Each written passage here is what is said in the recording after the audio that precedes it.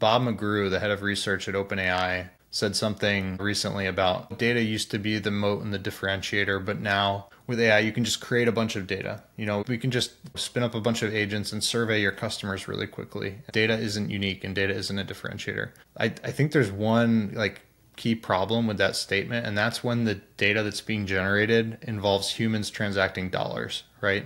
So your purchase history data, your unique history with your customers in retail for everyone who walked in the door and paid a cashier, right?